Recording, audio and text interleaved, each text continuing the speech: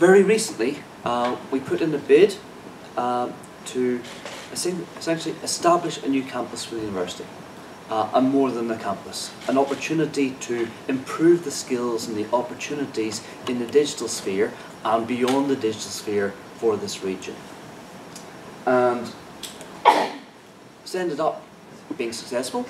Millions of pounds have been awarded to the university, and we are going to have a little mini campus over in Adastral Park where BT and various other companies um, hang out and do useful things.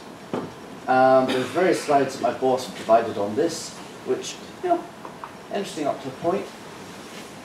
Uh, for those who actually have to plan the thing, that'll be another of the, of the, of the big jobs. But more usefully for people in the region, okay, so this mini campus is not just about you ship some students around, they, learn, they, they attend some lectures, they have some practicals, all being well, they get a degree and they go off and do useful things. It's about new companies. It's about new innovations. It's about CPD. It's about creating an environment where innovation, hopefully without the sins, will happen. And from the perspective of this group, there's a number of interesting laboratories that we were intending to establish, including aspects of sustainability and smart communities, smart metrology, all things that uh, hopefully will advance the University of Suffolk's agenda in developing things in this area.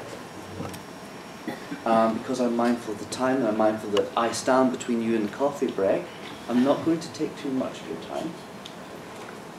But I'm going to throw some strange curveballs at you. Okay? I, um, you know, you as sustainability professionals are already broken out of, the, of many silos that you could have been forced into. You already cross disciplines, you have to, because of the, the nature of the research, the nature of the development, the nature of the industry you find yourselves in. So I'm going to throw some more curveballs from some of the things that we are doing, just to give you other things you might wish to be concerned about, might wish to worry about when you're taking forward innovations. So I'm leading, as the University of Suffolk PI, a project called Connected Together. Its aim is can we use digital technology, tablets, apps, etc., to combat, to thwart social iso isolation?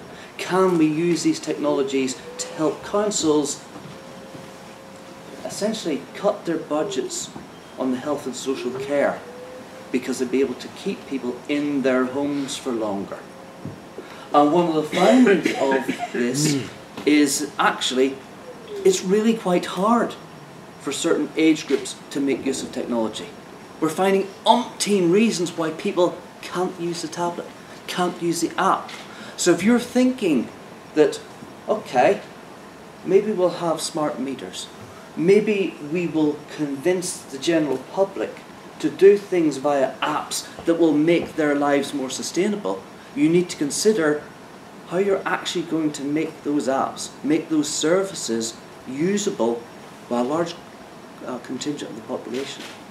Because, trust me, we've, we've had many, many reasons why I can't do this. This is not for me. My lifestyle doesn't support this, etc., etc. And even simple things with tablets, you might not think about, you know, somebody's got arthritis, etc.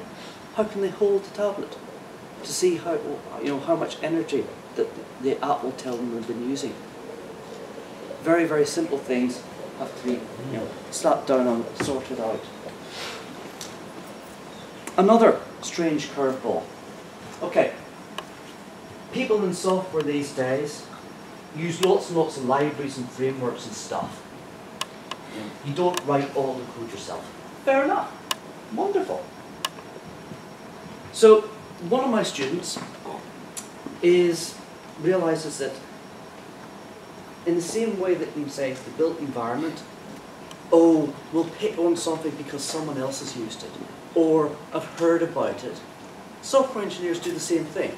They go, oh, I've heard about this framework, I've played it, yeah, I'll bring it in, I'll use it in this project. Now, that's all well and good, but the objective evidence that people are making those choices on is slim, very slim. So Frank, one of my PhD students, has done a little bit of research. Now, these tables, they mean very little to you, but all of you use the web. All of you go to websites. All of you go to websites where that website will start to personalize itself to you. It'll know your name, okay? And in order to do that, it grabs stuff from the database, it shovels the, the things together, it generates a web page that's particular to you. And it has to run a script to do that. And there's many, many different scripts that do this thing. Okay? Random names that you don't care about. There are random tasks that they have to do, and again, you don't care about them. what do you care about on this slide? You care about that the numbers are very different. That some of those numbers quite tiny in terms of the amount of time, the amount of computational cycles it takes to get stuff done. Whereas other things, for doing the same really quite simple task, let's be honest about this, are orders of magnitude, multiple orders of magnitude more. So if you're an e-commerce retailer, actually this means that your web pages are taking much longer to appear. And there's studies that say that if you can speed up your website by a second, you're going to hold more customers for longer. But if you think of this in a sustainability point of view, the fact that you need, okay, that's order 10, that's order 30,000, we're talking a thousand times more computation, that's a thousand times more energy essentially being burned. And we already know that, you know, blockchain has some good things about it, but look at how much energy is being wasted for Bitcoin mining, achieving nothing. Okay? And lots of software is essentially burning energy. Burning energy for no good reason. So that so if you're an e-commerce retailer or somebody else who actually depends on your website, your customers are going away because it takes longer for the things to come up, and you are paying a price. The environment's paying a price, and you're paying a price because you probably put this in the cloud, and on the cloud they charge you by millisecond. Okay? So, you think a software solution would be a good thing? Have some concern for the efficiency of how you're implementing it. Another auditing. Okay? Everything we do depends on software. Everything we do, because it depends on software, will have cybersecurity implications to it. Okay? So one of my uh, researchers is very interested in, okay, you want to do something. You want to get to the requirement stage. What are all the implications that need to be brought together to actually come up with good requirements that you can go forward with. And this is work, she's taking it in action research with ARM to worry about, okay, how do you protect your physical supply chain and your information supply chain that lives with this? And all of you in the built environment have both of those one way or another. Finally, some other odds and ends. Okay? Not a researcher working on cybersecurity stances. Cybersecurity is not something that's just for Christmas. You don't just sit down, come up with cybersecurity policy, and all's well with your universe forever and a day. Sadly, the bad guys change their attack modes. They come up with new and exciting ways to do you over. Therefore, you have to evolve in response. And let's put it this way: a system that is not secure will not be safe will not be resilient. I have a number of projects, one PhD, two others in the KTP space, where we're looking at various aspects of software testing. And this is, again, some software testing that software developers do is easy.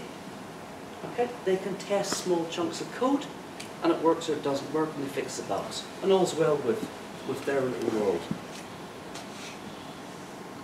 when you try to scale up, when you try to worry about systems talking to systems, when you're in a world of systems of systems, suddenly you can't think of easy ways of testing that. Now, you might say, well, things mostly work. Yeah, they do mostly work until you discover that tiny errors that don't get caught by normal conventional software testing, well, there's uh, been one financial trading company that lost 500 million and went out of business the next day. Uh, Provident, who uh, essentially loans company, managed for again a small set of errors that just propagated through their system to lose a billion and its share price has never recovered. And you might say, okay, those are one of the financial companies, I, we don't really care. You know, the bankers had it coming. You, you could say that, but the same sorts of unexpected problems are unfortunately the same sorts of unexpected problems that lead to the Uber self-driving car killing someone. Okay? They're the same sorts of unexpected problems, even though engineers are sort of, you know, complaining at their management, that lead to Boeing's planes coming out of the sky and landing and killing hundreds of people. So we've got some very exciting research into finding better ways of testing software where it's not just a tiny bits of code. It's large chunks of code that has to talk to other bits of code uh, in ways that you do not expect, in emergent ways, and trying to determine if they're behaving in the right way. And a final project in the sort of stuff that's happening here, um, we had joined forces with uh, Suffolk County Council through their, their highways group um, and, a number of uh, other companies for a Department of Transport funded project. It's the Live Lab Smarter Suffolk. Here we're going to be taking sensors to various places around the county and trying out stuff. Using them for air quality monitoring, for water monitoring, for determining can we actually save energy by being even more clever with how we light the streets and the roads of Suffolk. Because it turns out that, you know, actually, if you turn off the lights in certain places, you don't get burgled. Which was a surprise uh, to, to, to, various people. So we're going to experiment further in that space. And a final project that is not on here because actually we've already had a really fantastic presentation on is Peter Good's multidimensional framework analysis. Uh, he doesn't need to, uh, to, to, get a, a, single line here when, when you've already heard really great stuff. So that's the, the bizarre ranting from me. And I hope I've given enough time for coffee to be ready, but not enough time to delay from it.